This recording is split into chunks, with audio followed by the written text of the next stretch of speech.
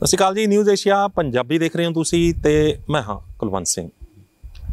ਸਿਹਤ ਮਾਮਲੇ ਨੂੰ ਲੈ ਕੇ ਅੱਜ ਇੱਕ ਅਜਿਹਾ ਮਹਿਮਾਨ ਤੁਹਾਡੇ ਰੂਬਰੂ ਕਰਨ ਜਾ ਰਹੇ ਹਾਂ, ਜਿਹੜੇ ਮਹਿਮਾਨ ਯੰਗ ਨੇ, ਯੰਗ ਏਜ ਦੇ ਵਿੱਚ ਇਹਨਾਂ ਨੂੰ ਕੁਝ ਅਜਿਹੀਆਂ ਪ੍ਰੋਬਲਮਸ ਆ ਗਈਆਂ, ਜਿਹੜੀਆਂ ਕਿ ਉਮੀਦ ਨਹੀਂ ਕੀਤੀ ਜਾ ਸਕਦੀ।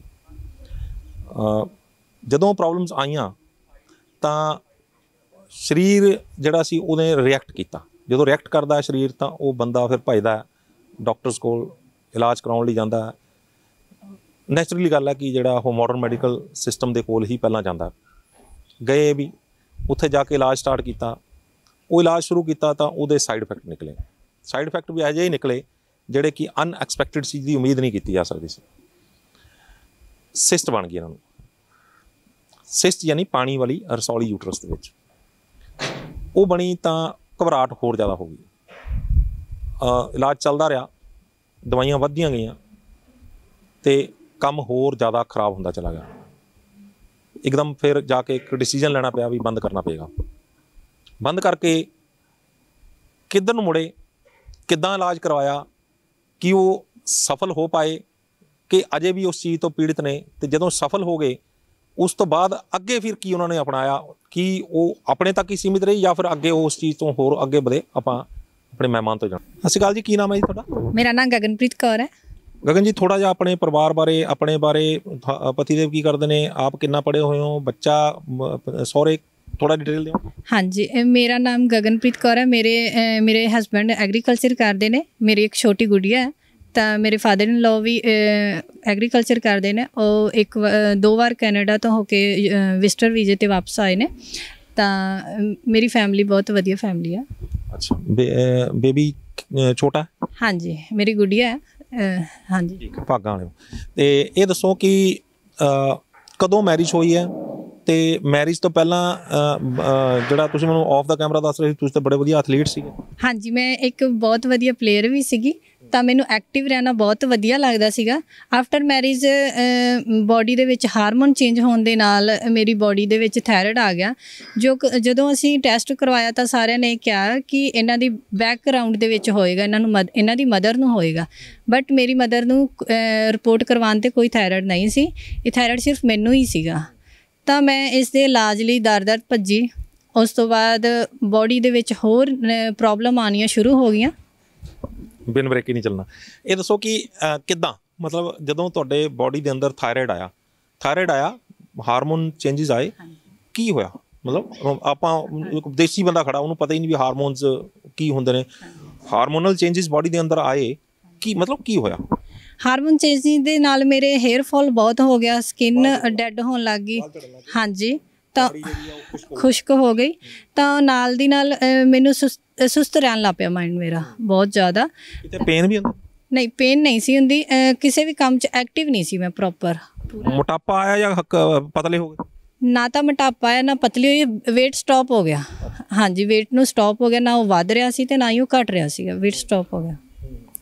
ਤੇ ਇਹ ਬੇਬੀ ਕਨਸੀਵ ਕਰਨ ਤੋਂ ਪਹਿਲਾਂ ਦੀ ਗੱਲ ਹੈ ਜਾਂ ਬਾਅਦ ਦੀ ਗੱਲ ਬੇਬੀ ਕਨਸੀਵ ਕਰ ਲਿਆ ਸੀ ਉਸ ਤੋਂ ਬਾਅਦ ਟੈਸਟ ਹੁੰਦੇ ਨੇ। ਜਦੋਂ ਟੈਸਟ ਕਰਵਾਏ ਤਾਂ ਮੈਡਮ ਕਹਿੰਦੇ ਕਿ ਹੋਏ ਤੁਸੀਂ ਥਾਇਰਾਇਡ ਦਾ ਵੀ ਚੈੱਕਅਪ ਕਰਵਾਓ। ਜਦੋਂ ਮੈਂ ਥਾਇਰਾਇਡ ਦਾ ਚੈੱਕਅਪ ਕਰਵਾਇਆ ਤਾਂ ਫਿਰ ਮੈਨੂੰ 75 ਦੀ ਟੈਬਲੇਟ ਲੱਗ ਗਈ ਪਾਵਰ ਦੀ। ਸਿੱਧੀ ਉਹ 75 mg ਦੀ ਲਾਈ 0.75 ਦੀ? ਹਾਂਜੀ। ਤੇ ਜਦੋਂ ਟੈਬਲੇਟਸ ਜਦੋਂ ਜਦੋਂ ਡਾਕਟਰ ਨੇ ਡਾਇਗਨੋਸ ਕੀਤਾ ਚੈੱਕ ਕੀਤਾ ਤੁਹਾਨੂੰ ਜਾ ਕੇ ਤਾਂ ਉਹਨੇ ਕੀ ਕਿਹਾ? ਮਤਲਬ ਵੀ ਇਹ ਕਿੰਨੀ ਦੇਰ ਚ ਠੀਕ ਹੋ ਜਾਏਗਾ? ਉਹਨਾਂ ਨੇ ਕਿਹਾ ਕਿ ਇਹ ਉਮਰ ਭਰ ਗੋਲੀ ਤੁਹਾਨੂੰ ਖਾਣੀ ਪੈਣੀ ਹੈ ਤਾਂ ਮੈਂ ਸਟ੍ਰੈਸ ਵਿੱਚ ਚਲੀ ਗਈ। ਮੈਂ ਕਿਹਾ ਕਿ ਮੈਂ ਤਾਂ ਕਦੀ ਸਵੇਰ ਉੱਠ ਕੇ ਪਹਿਲਾਂ ਗੋਲੀ ਖਾਵਾਂਗੀ, ਫਿਰ ਮੈਂ ਕੰਮ ਕਰਾਂਗੀ, ਮੈਂ ਕੀ ਕੀ ਕਰਾਂਗੀ? ਤਾਂ ਮੈਨੂੰ ਬਹੁਤ ਔਖਾ ਲੱਗਦਾ ਸੀ ਜਦੋਂ ਸਵੇਰ ਖਾਲੀ ਪੇਟ ਗੋਲੀ ਲੈਣੀ ਪੈਂਦੀ ਸੀ। ਪਰ ਮੈਂ ਆਪਣੀ ਗੋਲੀ ਨੂੰ ਕਦੇ ਵੀ ਮਿਸ ਨਹੀਂ ਸੀ ਕੀਤਾ। ਮੈਂ ਉਸ ਨੂੰ ਕੰਟੀਨਿਊਸ ਰੱਖਿਆ ਬਟ ਮੇਰਾ ਇਹੋ ਹੀ ਮਿਸ਼- ਮਨ ਦੇ ਵਿੱਚ ਇਹ ਸੀ ਕਿ ਕਦੋਂ ਇਸ ਗੋਲੀ ਤੋਂ ਖੜਾ ਛੁੱਟੇ ਮੈਂ। ਕੋਈ ਇਹ ਵੀ ਹੋਇਆ ਵੀ ਗੋਲੀ ਕੱਲੀ ਥਾਇਰਾਇਡ ਦੀ ਖਾਣੀ ਪੈਂਦੀ ਸੀ ਜਾਂ ਫਿਰ ਕੁਝ ਗੋਲੀ ਹੋਰ ਵੀ ਲਾਈਆਂ ਮੈਂ? ਨਹੀਂ ਜੀ ਥਾਇਰਾਇਡ ਦੀ ਹੀ ਗੋਲੀ ਮੈਨੂੰ ਕੱਲੀ ਖਾਣੀ ਪੈਂਦੀ ਸੀ ਤੇ ਬਾਡੀ ਫਿਰ ਵੀ ਥਾਇਰਾਇਡ ਦੀ ਟੈਬਲੇਟ ਲੈਣ ਤੋਂ ਬਾਅਦ ਵੀ ਐਕਟਿਵ ਨਹੀਂ ਰਹਿੰਦੀ ਸੀ ਪ੍ਰੋਪਰ ਕੀ ਹੁੰਦਾ ਸੀ? ਮਤਲਬ ਲਥਾਰਜਿਕ ਹੋ ਗਿਆ ਮਤਲਬ ਸੁਸਤੀ ਜੀ ਆ ਜਾਂਦੀ ਸੀ? ਹਾਂ ਮਾਈਂਡ ਵੀ ਸੁਸਤ ਰਹਿੰਦਾ ਸੀ ਬਾਡੀ ਵੀ ਸੁਸਤ ਰਹਿੰਦੀ ਸੀ ਪੂਰਾ ਐਕਟਿਵ ਨਹੀਂ ਸੀ ਮੈਂ। ਤੇ ਇਹ ਜਿਹੜਾ ਪ੍ਰੋਬਲਮ ਆਈ ਸੀਗੀ ਮਤਲਬ ਸੁਸਤ ਰਹਿਣਾ ਮਤਲਬ weight ਰੁਕ ਜਾਣਾ ਜਾਂ ਜੋ ਵੀ ਤੁਹਾਡੀ ਬਾਡੀ ਦੇ ਅੰਦਰ ਚੇਂਜਸ ਆ ਰਹੇ ਸੀ ਇਹਦੇ ਨਾਲ ਤੁਹਾਨੂੰ ਕੀ ਜਿਹਾ ਫੀਲ ਹੋਇਆ? ਮ- ਮਤਲਬ ਪ੍ਰੋਬਲਮ ਲੱਗੀ ਤੁਹਾਨੂੰ ਵੀ ਮੈਨੂੰ ਜਾ ਕੇ ਦਵਾਈ ਲੈਣ ਜਾਣਾ ਚਾਹੀਦਾ? ਮਤਲਬ ਇੱਕ ਆਪਣਾ ਆਪਣਾ ਨਾ ਇੱਕ ਇਨਸਾਨ ਦੇ ਅੰਦਰ ਇੱਕ ਕਮੀ ਆ ਵੀ ਜਦੋਂ ਤੱਕ ਪ੍ਰੋਬਲਮ ਨਾ ਆਵੇ ਕੋਈ ਛੇੜਖਾਨੀ ਨਾ ਹੋਵੇ ਸਰੀਰ ਦੇ ਨਾਲ ਜਾਂ ਦਰਦ ਨਾ ਹੋਣ ਲੱਗ ਜਾਏ, ਉਦੋਂ ਤੱਕ ਆਪਾਂ ਡਾਕਟਰ ਕੋਲ ਜਾਂਦੇ ਨਹੀਂ ਹੈਗੇ। ਉਹ ਕਹਿੰਦੇ, ਚੱਲ ਚੱਲ ਰਿਹਾ, ਕੋਈ ਗੱਲ ਨਹੀਂ, ਚੱਲਣ ਦਿਓ। ਨਹੀਂ, ਮੈਂ ਟੈਸਟ ਹੀ ਕਰਵਾਉਂਦੀ ਰਹਿਣਾ। ਜਦੋਂ ਵੀ ਮੈਡਮ ਕੋਲ ਆਣਾ ਤਾਂ ਮੈਡਮ ਨੇ ਕਹਿਣਾ, ਪਹਿਲਾਂ ਤੁਸੀਂ ਆ ਟੈਸਟ ਕਰਵਾ ਕੇ ਅੱਜ ਵੀ ਮੇਰੇ ਕੋਲ ਪੂਰੀ ਫਾਈਲ ਭਰੀ ਪਈ ਹੈ ਟੈਸਟਾਂ ਦੀ। ਸਾਰੀਆਂ ਰਿਪੋਰਟਾਂ ਦੀ ਮੇਰੇ ਕੋਲ ਫਾਈਲ ਭਰੀ ਪਈ ਹੈ। ਮੈਂ ਟੈਸਟ ਹੀ ਕਰਵਾਉਂਦੀ ਰਹਿਣਾ। ਤਾਂ ਪਰ ਆਂਦਾ ਕੁਛ ਨਹੀਂ ਸੀ। ਥਾਇਰਾਇਡ ਹੀ ਅਪ ਡਾਊਨ ਅਪ ਡਾਊਨ ਹੁੰਦਾ ਰਹਿੰਦਾ ਸੀ। ਕਦੇ 75 ਕਦੇ 100 ਕਦੇ 25 ਇਹੋ ਹੀ 50 ਇੱਥੇ ਹੀ ਮੇਰੀ ਟੈਬਲੇਟ ਮੀਨਸ ਕਿ ਇੱਕ ਵਾਰ ਵੀ ਇਦਾਂ ਨਹੀਂ ਸੀ ਹੋਇਆ ਕਿ ਮਹੀਨੇ 'ਚ ਕੰਟੀਨਿਊਸ 25 ਪਾਵਰ ਦੀ ਗੋਲੀ ਚੱਲੀ ਹੋਵੇ ਜਾਂ 50 ਦੀ। ਜਦੋਂ ਦੇਖਣਾ ਕਦੀ 25 ਪਾਵਰ ਦੀ ਸ਼ੀਸ਼ੀ ਲੈ ਕੇ ਆਓ ਜੀ, ਕਦੀ 75 ਦੀ ਲੈ ਕੇ ਆਓ ਜੀ। ਇਹ ਨਹੀਂ ਮੈਂ ਕਹਿ ਰਿਹਾ। ਇਹ ਤਾਂ ਚਲੋ ਤੁਸੀਂ ਹੈਗਾ ਵੀ ਦਵਾਈ ਲੈਣ ਤੋਂ ਬਾਅਦ।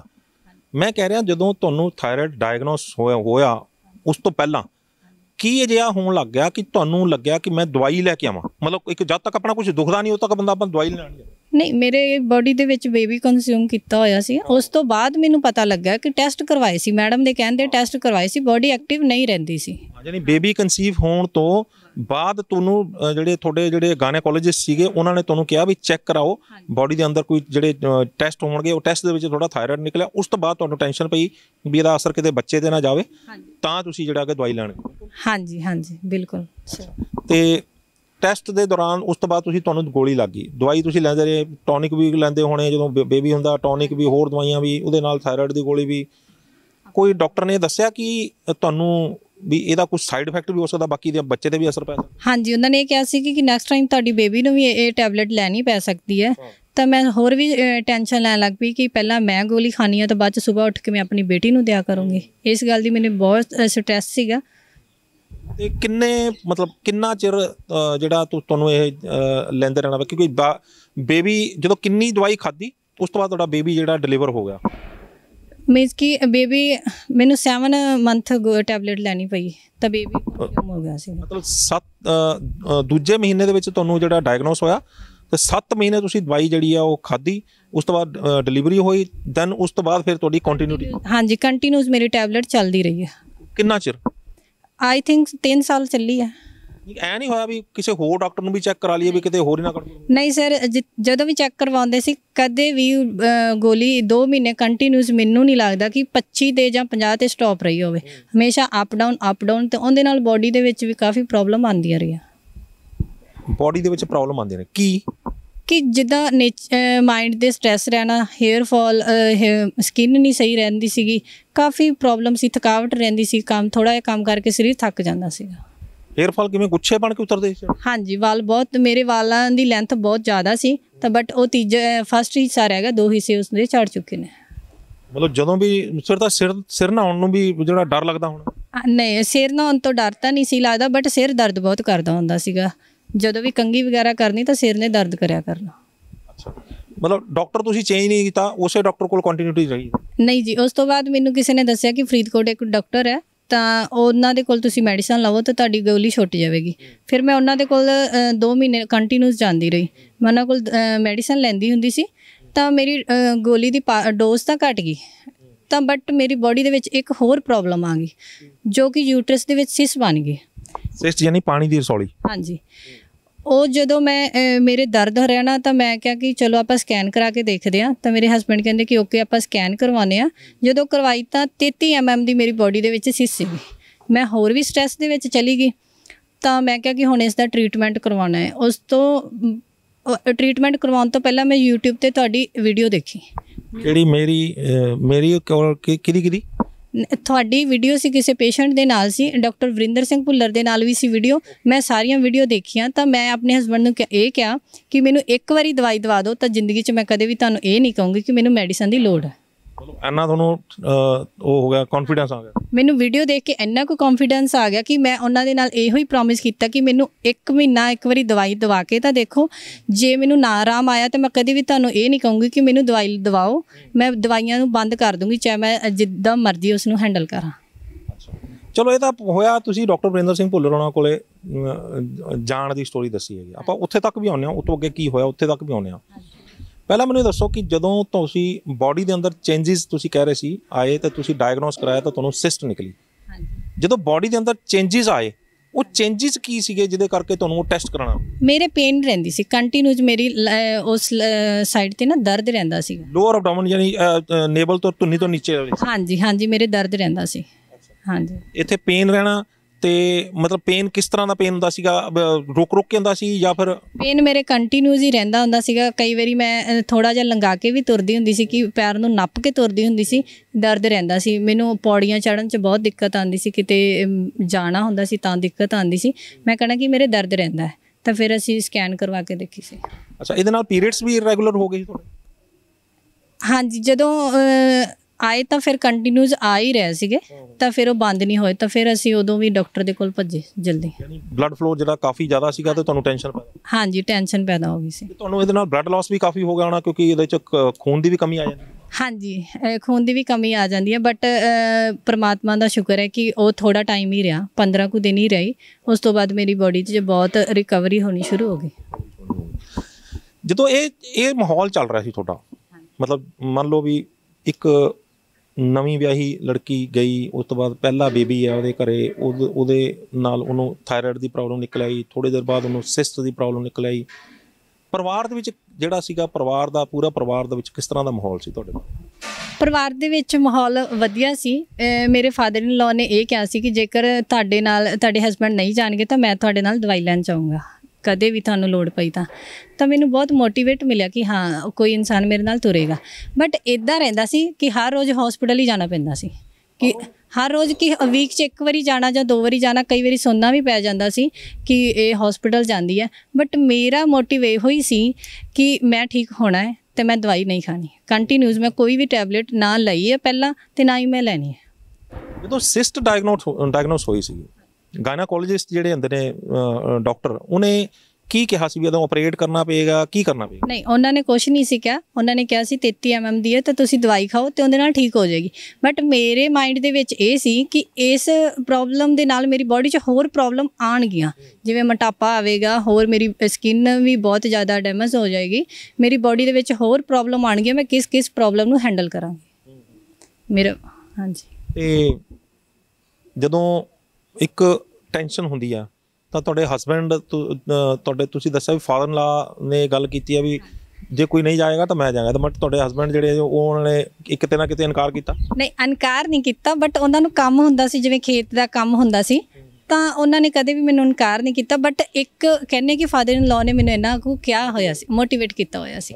ਘਰ ਦੀ ਸਾਰੀ ਜ਼ਿੰਮੇਵਾਰੀ ਵੀ ਤੁਹਾਡੇ ਤੇ ਹੀ ਹੋਣੀ ਕਿਉਂਕਿ ਜਦੋਂ ਲੜਕੀ ਘਰ ਦੇ ਵਿੱਚ ਹੁੰਦੀ ਹੈ ਤਾਂ ਉਹਨੂੰ ਸਾਰੇ ਜ਼ਿੰਮੇਵਾਰੀਆਂ ਘਰ ਦਾ ਕੰਮ ਹੋਰ ਆਇਆ ਗਿਆ ਵੀ ਸੰਭਾਲਣਾ ਸਾਰਾ ਕੁਝ ਜਦੋਂ ਬਾਡੀ ਸਾਥ ਨਹੀਂ ਦੇ ਰਹੀ ਹੁੰਦੀ ਤਾਂ ਉਦੋਂ ਫਿਰ ਬੜਾ ਔਖਾ ਹੋ ਜਾਂਦਾ। ਹਾਂਜੀ ਸਰ ਬਿਲਕੁਲ ਬਹੁਤ ਔਖਾ ਹੋ ਜਾਂਦਾ। ਬੱਚੇ ਨੂੰ ਅਟੈਂਡ ਕਰਨਾ ਕੰਮ ਵੀ ਘਰ ਦਾ ਕਰਨਾ ਮੇਰੇ ਲਈ ਇੱਕ ਚੈਲੰਜ ਹੀ ਸੀਗਾ ਜੋ ਮੈਂ ਅਸੈਪਟ ਕਰਕੇ ਤੇ ਉਸ ਨੂੰ ਪੂਰਾ ਕੀਤਾ ਹੈ। ਕਿੰਨੀ ਦੇਰ ਚੱਲਦਾ ਰਿਹਾ ਹੈ ਸਾਰਾ ਸਿਸਟਮ ਯਾਨੀ ਕਿ ਉਧਰੋਂ 7 ਮਹੀਨੇ ਦਾ ਤੁਸੀਂ ਉਹ ਲਾ ਲਓ। ਉਸ ਤੋਂ ਬਾਅਦ ਕਿੰਨੀ ਦੇਰ ਤੱਕ 2 ਸਾਲ ਤੱਕ ਕੰਟੀਨਿਊਸ ਹੀ ਮੇਰੇ ਨਾਲ ਇਦਾਂ ਹੁੰਦਾ ਰਿਹਾ। ਪੇਨ ਜਿਹੜੀ ਸੀ ਉਹ ਕਿੰਨੀ ਦੇਰ ਰਹੀ? ਪੇਨ ਤਾਂ ਆਈ ਥਿੰਕ ਮੇਰੇ ਤੁਸੀਂ ਇੱਕ ਮੰਥ ਲਾ ਲਓ। ਉਸ ਤੋਂ ਬਾਅਦ ਮੈਂ ਡਾਕਟਰ ਵਰਿੰਦਰ ਸਿੰਘ ਭੁੱਲਰ ਕੋਲ ਆ ਗਈ ਤਾਂ ਪੇਨ ਮੇਰੀ ਸਟਾਪ ਹੋ ਗਈ। ਅੱਛਾ। ਤੇ ਜਦੋਂ ਡਾਕਟਰ ਵਰਿੰਦਰ ਸਿੰਘ ਭੁੱਲਰ ਕੋਲ ਤੁਸੀਂ ਗਏ ਮਤਲਬ ਵੀਡੀਓ ਦੇਖ ਕੇ ਗਏ ਤਾਂ ਕੀ ਕੀ ਡਾਇਗਨੋਸ ਕੀਤਾ ਉਹਨਾਂ ਨੇ? ਕਿਦਾਂ ਤੁਹਾਨੂੰ ਗਲੂਕੋਜ਼ ਲਾਤਾ ਇੰਜੈਕਸ਼ਨ ਲਾਤਾ ਤੁਹਾਨੂੰ ਬਾਹਰ ਸਟੈਥੋਸਕੋਪ ਲਾ ਕੇ ਚੈੱਕ ਕਰਕੇ ਦੱਸਿਆ? ਕੀ ਕਰਿਆ? ਨਹੀਂ ਜੀ ਉਹਨਾਂ ਨੇ ਮੇਰੇ ਨਾਲ ਕੁਝ ਵੀ ਇਦਾਂ ਦਾ ਨਹੀਂ ਕੀਤਾ। ਜਦੋਂ ਮੈਂ ਆਈ ਸੀ ਸਵੇਰ 6 ਵਜੇ ਆਈ ਸੀ ਉਦੋਂ ਬੁਕਿੰਗ ਹੁੰਦੀ ਸੀ ਤਾਂ ਉਹਨਾਂ ਨੇ ਕਿਹਾ ਕਿ ਤੁਹਾਡਾ ਨੰਬਰ ਸ਼ਾਮ ਨੂੰ 6 ਵਜੇ ਆਏਗਾ। 12 ਘੰਟੇ ਬਾਅਦ? ਹਾਂਜੀ। ਫਿਰ ਅਸੀਂ ਥੋੜੀ ਜਿਹੀ ਵੇਟ ਕੀਤੀ ਬੇਟੀ ਛੋਟੀ ਹੋਣ ਦੇ ਕਾਰਨ ਅਸੀਂ ਵਾਪਸ ਚਲੇ ਗਏ ਆਪਣੇ ਘਰ। ਫਿਰ ਅਸੀਂ ਉਸ ਟਾਈਮ ਤੇ ਆ ਗਏ। ਤਾਂ ਅਜੇ ਵੀ ਬਹੁਤ ਜ਼ਿਆਦਾ ਰਸ਼ ਸੀਗਾ ਉੱਥੇ। ਵੇਟ ਕਰਦਿਆਂ, ਦਵਾਈ ਬਣਾਉਂਦਿਆਂ ਟਾਈਮ ਲੱਗ ਰਿਹਾ ਸੀ।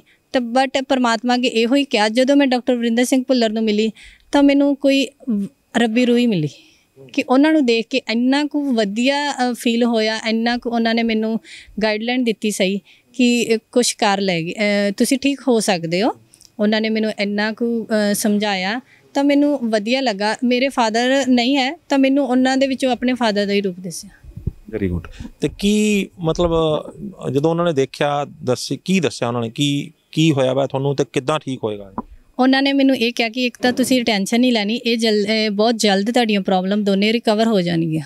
ਤਾਂ ਮੈਂ ਕਿਹਾ ਠੀਕ ਹੈ ਓਕੇ ਤਾਂ ਬਟ ਉਸ ਤੋਂ ਬਾਅਦ 15 ਦਿਨਾਂ ਬਾਅਦ ਅਸੀਂ ਫਿਰ ਦਵਾਈ ਲੈਣ ਆਏ ਨੰਬਰ ਲੈਣ ਆਏ ਸੀ। ਮੇਰੇ ਹਸਬੰਡ ਨੂੰ ਕਿਸੇ ਨੇ ਇਹ ਕਿਹਾ ਕਿ ਅਸੀਂ 4 ਮਹੀਨੇ ਹੋ ਗਏ ਇੱਥੋਂ ਦਵਾਈ ਖਾ ਰਹੇ ਹਾਂ, ਤਾਂ ਸਾਨੂੰ ਰਮਾਨ ਨਹੀਂ ਆ ਰਿਹਾ। ਤਾਂ ਉਹਨਾਂ ਨੇ ਮੈਨੂੰ ਘਰੇ ਜਾ ਕੇ ਦੱਸਿਆ ਕਿ ਐਦਾਂ ਉੱਥੋਂ 4 ਮਹੀਨੇ ਕੋਈ ਦਵਾਈ ਲੈ ਰਿਹਾ, ਉਹਨਾਂ ਨੂੰ ਰਮਾਨ ਨਹੀਂ ਆ ਰਿਹਾ। ਮੈਂ ਕਿਹਾ, ਇਹ ਬਿਲਕੁਲ ਗਲਤ ਹੈ, ਕਿਉਂਕਿ ਮੈਨੂੰ 15 ਦਿਨਾਂ 'ਚ ਇੰਨਾ ਫ਼ਰਕ ਪੈ ਰਿਹਾ, ਤਾਂ ਆਪਣਾ ਤਾਂ ਪ੍ਰੋਮਿਸ ਹੀ ਸਿਰਫ 3 ਮਹੀਨੇ ਦਾ। ਤੁਸੀਂ 3 ਮਹੀਨੇ ਮੇਰੇ ਨਾਲ ਕੰਟੀਨਿਊਸ ਜਾਓ ਤਾਂ ਸੀ ਤਾਂ ਉਹਨਾਂ ਨੇ ਆਪਣਾ ਪ੍ਰੋਮਿਸ ਨਿਭਾਇਆ ਤੇ ਮੈਂ ਆਪਣਾ ਨਿਭਾਇਆ ਤੇ ਅੱਜ ਮੈਂ ਬਿਲਕੁਲ ਠੀਕ ਹਾਂ। ਕੀ ਇਹ ਜੀ ਗਿੱਦੜ ਸਿੰਘ ਕੀ ਦੇਤੀ ਤੁਹਾਨੂੰ ਉਹਨਾਂ ਨੇ ਜਿਹੜਾ ਤੁਸੀਂ ਮਤਲਬ ਠੀਕ ਹੋ ਗਏ? ਕੀ ਕੀ ਦਿੱਤਾ? ਦਵਾਈ ਕੀ ਕੀ ਦਿੱਤੀ ਸਰ ਉਹਨਾਂ ਨੇ ਇੱਕ ਗਾਇਨੋ ਕਿਟ ਦਿੱਤੀ। ਤਾਂ ਥਾਇਰਾਇਡ ਤੇ ਇਲੈਕਟ੍ਰੋ ਜਿਹੜੀ ਬਣਦੀ ਹੈ ਬਣ ਤੇ ਟਾਈਮ ਲੱਗਦਾ ਹੈ। ਮੈਨੂੰ ਉਹ ਦੋਨੇ ਦਿੱਤੀਆਂ। ਅੱਛਾ ਕੋਈ ਨਮਕ ਕੋਈ ਤੁਲਸੀ ਕੋਈ ਗਲੋ ਕੋਈ ਏਐਮਡੀ ਇਹ ਕੁਝ ਨਹੀਂ ਜੀ ਨਮਕ ਦਿੱਤਾ ਸੀਗਾ ਮੈਨੂੰ। ਤਾਂ ਇਲੈਕਟ੍ਰੋ ਦਿੱਤੀ ਸੀ ਤੇ ਗਾਇਨੋ ਕਿਟ ਦਿੱਤੀ ਸੀ। ਹਾਂਜੀ। ਤੇ ਗਾਇਨੋ ਕਿਟ।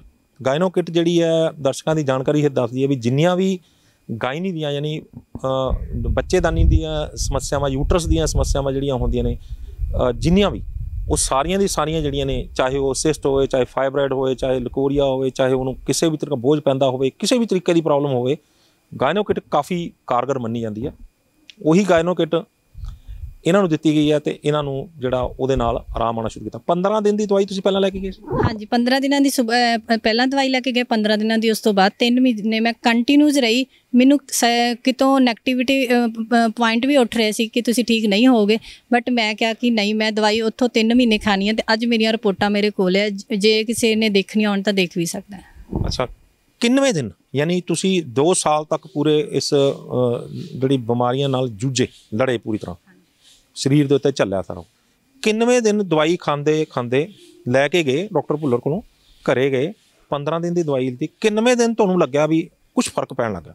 ਸਰ ਮੇਰੀ ਮੈਂ ਐਕਸਰਸਾਈਜ਼ ਕਰਦੀ ਆ ਮੈਂ ਬਹੁਤ ਐਕਟਿਵ ਰਹਿੰਦੀ ਆ ਤਾਂ ਮੈਨੂੰ 7 ਡੇ ਹੀ ਪਤਾ ਲੱਗ ਗਿਆ ਸੀ ਕਿ ਇਹ ਦਵਾਈ ਕੋਈ ਵਧੀਆ ਦਵਾਈ ਹੈ ਜਿੰਦੇ ਨਾਲ ਮੇਰੀ ਬਾਡੀ ਦੇ ਵਿੱਚ ਕੁਝ ਚੇਂਜਸ ਆ ਰਹੇ ਨੇ ਤਾਂ ਮੈਂ ਬਿਲਕੁਲ ਠੀਕ ਹੋ ਜਾਣਾ ਹੈ। 7ਵੇਂ ਦਿਨ। ਕੀ ਕੀ ਚੇਂਜਸ ਆਏ? ਕਿਦਾਂ? ਚੇਂਜਸ ਮੈਂ ਕੰਮ 'ਚ ਬਹੁਤ ਐਕਟਿਵ ਰਹਿੰਦੀ ਸੀ ਨਹੀਂ ਤਾਂ ਮੈਂ ਸੁੱਤੀ ਰਹਿਣਾ। ਲੰਮੇ ਲੇਟੀ ਰਹਿੰਦੀ ਹੁੰਦੀ ਸੀਗੀ ਜ਼ਿਆਦਾ ਟਾਈਮ ਤਾਂ ਮੈਂ ਕੰਮ 'ਚ ਬਹੁਤ ਐਕਟਿਵ ਰਹਿਣ ਲੱਗ ਪਈ, ਆਪਣੀ ਬੱਚੀ ਨਾਲ ਮੀਨਸ ਕਿ ਘਰ ਦਾ ਮਾਹੌਲ ਥੋੜਾ ਜਿਹਾ ਚੇਂਜ ਹੋ ਗਿਆ ਸੀ। ਇਹ ਤਾਂ ਹੋਗਾ ਚਲੋ ਤੁਸੀਂ ਮਤਲਬ ਦਵਾਈ ਲਿੱਤੀ ਤਾਂ ਤੁਹਾਨੂੰ ਆਰਾਮ ਆ ਕਿ ਤੁਸੀਂ ਇਸ ਦੇ ਨਾਲ ਜਿਹੜੀ ਤੁਸੀਂ ਆਪਣੀ ਫਿਜ਼ੀਕਲ ਐਕਸਰਸਾਈਜ਼ਸ ਕਰਦੇ ਹੋ, ਕਿ ਤੁਹਾਨੂੰ ਲੱਗਦਾ ਕਿ ਉਹ ਵੀ ਇੱਕ ਅਸਰ ਪਿਆ ਉਸ ਚੀਜ਼ ਦਾ ਵੀ ਦਵਾਈ ਨੂੰ ਜ਼ਿਆਦਾ ਬੂਸਟ ਕਰਨ ਲਈ? ਹਾਂਜੀ, ਬਿਲਕੁਲ ਪਿਆ। ਪਹਿਲਾਂ ਵੀ ਮੈਂ ਐਕਸਰਸਾਈਜ਼ ਕਰਦੀ ਸੀ। ਜਦੋਂ ਮੈਨੂੰ ਥਾਇਰਾਇਡ ਸੀਗਾ, ਮੈਂ ਪਹਿਲਾਂ ਵੀ ਐਕਸਰਸਾਈਜ਼ ਕਰਦੀ ਸੀ। ਯੋਗਾ ਮੇਰਾ ਬਾਡੀ ਦਾ ਪਾਰਟ ਹੈ। ਮੈਂ ਉਸ ਨੂੰ ਕੰਟੀਨਿਊਸ ਆਪਣੀ ਰੱਖਿਆ ਹੈ ਚਾਹੇ ਮੈਂ ਕਿਤੇ ਵੀ ਆ ਤਾਂ ਉਹਨਾਂ ਦੇ ਨਾਲ ਮੈਨੂੰ ਕੋਈ ਫ਼ਰਕ ਨਹੀਂ ਪੈ ਰਿਹਾ ਸੀ, ਕਿਉਂਕਿ ਬਾਡੀ ਦੇ ਵਿੱਚ ਖਾਣੇ ਸਹੀ ਨਾ ਹੋਣ ਦੇ ਕਾਰਨ ਆਪਣੀ ਬਾਡੀ ਦੇ ਵਿੱਚ ਕੋਈ ਚੀ- ਜਾ ਨਹੀਂ ਸੀ ਰਿਹਾ। ਪੂਰਾ ਪ੍ਰੋਟੀਨ ਜਾਂ ਆਪਾਂ ਨੂੰ ਜੋ ਵੀ ਚੀਜ਼ਾਂ ਚਾਹੀਦੀਆਂ, ਉਹ ਮਿਲ ਨਹੀਂ ਸੀ ਰਹੀਆਂ ਤਾਂ ਜਦੋਂ ਮੈਂ ਇੱਥੋਂ ਦਵਾਈ ਲਈ ਤਾਂ ਮੈਨੂੰ ਬਾਡੀ ਦੇ ਵਿੱਚ ਇੰਨਾ ਕੁ ਅੱਛਾ ਫੀਲ ਹੋਇਆ ਕਿ ਮੈਂ ਆਪਣੀ ਬਾਡੀ ਨੂੰ ਬਹੁਤ ਹੀ ਜਲਦੀ ਰਿਕਵਰ ਕੀਤਾ। ਰਿਕਵਰ ਕੀਤਾ। ਪੈਸੇ ਕਿੰਨੇ ਕੁ ਲੱਗੇ ਪੈਸੇ ਜਿਹੜੇ ਮੈਂ ਸਾਰੀ ਉਮਰ ਦੇਣੇ ਸੀ ਉਹਨਾਂ ਤੋਂ ਤਾਂ ਮੈਂ ਛੁੱਟੀ ਆ ਨਾ। ਅੱਜ ਮੇਰੀ ਕੱਲ ਹੀ ਮੇਰੀ ਗੁੜੀਆ ਨੂੰ ਬੁਖਾਰ ਹੋਇਆ ਤਾਂ ਉਹ ਤੁਲਸੀ ਆਪਣੀ ਜ਼ੁਬਾਨ ਤੇ ਸਿੱਧਾ ਲੈ ਲੈਂਦੀ ਹੈ ਅੱਛਾ। ਹਾਂਜੀ ਜੋ ਕਿ ਉਹ ਕੌੜੀ ਲੱਗਦੀ ਹੈ ਮੇਰੇ ਵਰਗੀ ਨੂੰ ਵੀ ਕੌੜੀ ਲੱਗਦੀ ਹੈ ਤਾਂ ਉਹ ਗਲੋ ਵੀ ਡਾਇਰੈਕਟ ਲੈ ਲੈਂਦੀ ਹੈ। ਤਾਂ ਅੱਜ ਉਹਨੇ ਸਵੇਰ ਦੋ ਢੱਕਣ ਪੀਤੇ ਕੋਈ ਮੰਨਣ ਨੂੰ ਨਹੀਂ ਤਿਆਰ ਸੀਗਾ। ਬਟ ਉਹਨੂੰ ਜਦੋਂ ਵੀ ਅਸੀਂ ਕਹੀਏ ਨਾ ਗੁਰਨਾਜ ਤੁਸੀਂ ਠੀਕ ਨਹੀਂ ਹੋ ਤਾਂ ਉਹ ਭੱਜ ਕੇ ਜਾ ਕੇ ਆਪਣੇ ਡਰਾਅ ਦੇ ਵਿੱਚੋਂ ਤੁਲਸੀ ਤੇ ਗਲੋ ਲੈਂਦੀ ਹੈ। ਹਾਂਜੀ। ਤੇ ਉਹਦੇ ਤੇ ਵੀ ਅਸਰ ਹੋਇਆ? ਵਧੀਆ ਉਹ ਠੀਕ ਹੈ? ਹਾਂਜੀ ਉਹਦੇ ਤੇ ਬਿਲਕੁਲ ਅਸਰ ਹੋਇਆ। ਨਹੀਂ ਤਾਂ ਮੈਂ ਉਹਨਾਂ ਨੂੰ ਕਹਿਣਾ ਸੀ ਤੁਸੀਂ ਆਪਣਾ ਚੈੱਕਅਪ ਕਰਵਾਓ ਤੇ ਇਹਨਾਂ ਨੂੰ ਕੋਈ ਦਵੋ ਆਪਾਂ ਇਹਨਾਂ ਨੂੰ ਟੈਬਲੇਟ ਲੈ ਕੇ ਦਿੰਨੇ ਆ ਪਿੰਡੋ ਡਾਕਟਰ ਤੋਂ ਚੈੱਕ ਕਰਵਾਓ।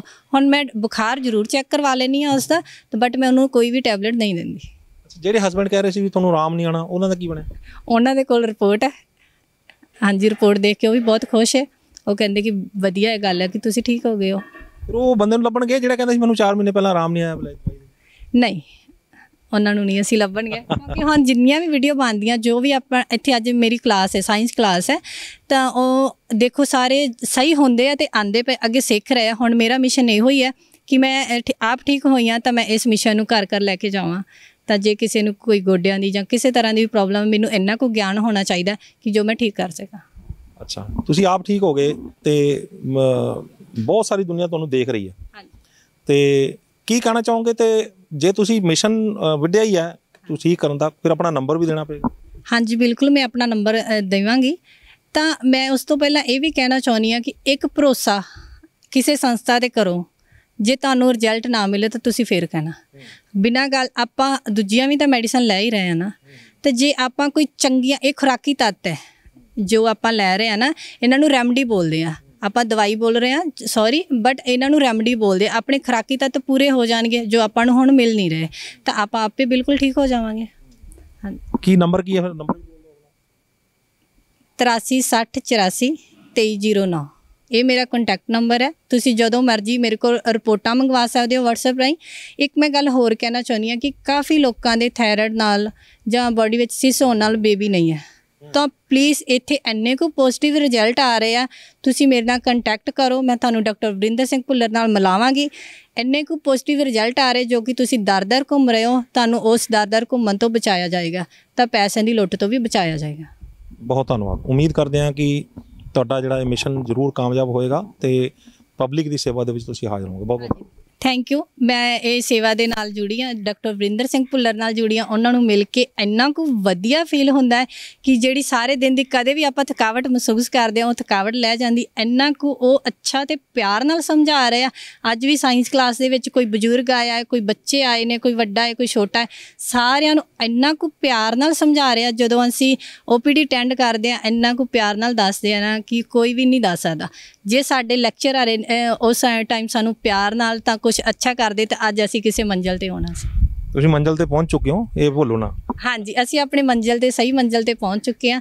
ਬਹੁਤ ਜਲਦ ਅਸੀਂ ਲੋਕਾਂ ਦੀ ਸੇਵਾ ਵਿੱਚ ਵੀ ਹਾਜ਼ਰ ਹਾਂ। ਬਹੁਤ ਜਲਦ ਕੁਝ ਬਣ ਕੇ ਅੱਗੇ ਫਿਰ ਵੀਡੀਓ ਹੋਰ ਬਣਾਵਾਂਗੇ। ਬਹੁਤ ਧੰਨਵਾਦ ਤੁਹਾਡਾ ਬਹੁਤ ਬਹੁਤ। ਥੈਂਕ ਯੂ ਸਰ ਸੋ ਤੁਸੀਂ ਦੇਖਿਆ ਵੀ ਕਿਸ ਤਰੀਕੇ ਦੇ ਨਾਲ ਇੱਕ ਅਜਿਹੇ ਮਹਿਮਾਨ ਜਿਨ੍ਹਾਂ ਨੇ ਲੰਬੀ ਸਮੇਂ ਦੇ ਵਿੱਚ ਆਪਣਾ ਸਰੀਰ ਦੇ ਉੱਤੇ ਕਸ਼ਟ ਸਿਹਾ।